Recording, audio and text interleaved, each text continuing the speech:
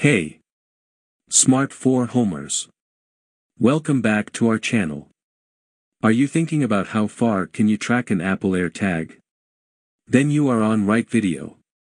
An Apple AirTag requires Bluetooth to connect to your smartphone.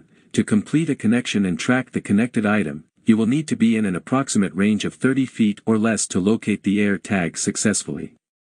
Is there a limit to how far Apple AirTags can track? The Apple AirTag provides you with a secure way to keep an eye on your most important items, but since it relies on a Bluetooth connection, there are limits to the distance in which it can alert you.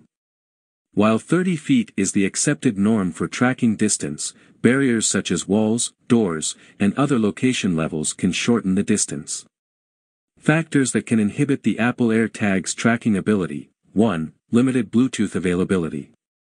Since Apple AirTags rely on Bluetooth to locate a device, you will not locate your item if you are in an area where there are no devices capable of picking up the signal. 2. Tracking only works with U1 capable devices.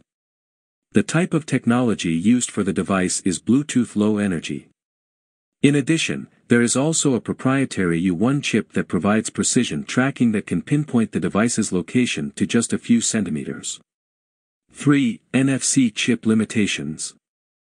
There is an NFC chip included in the AirTag, which contains information to help verify ownership. While this does not specifically add to the tracking, it is a vital component of the tracking process. Let us know if you face any problems, comments down below. We hope you enjoyed this video, and if you did, don't forget to click the like button, and share it with a friend. Subscribe to Smart 4 Home and hit the notification bell icon for more content like this. As always, thanks for watching.